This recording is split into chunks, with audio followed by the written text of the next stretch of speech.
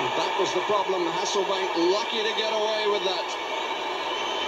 The referee had seen that. He would surely have sent him off.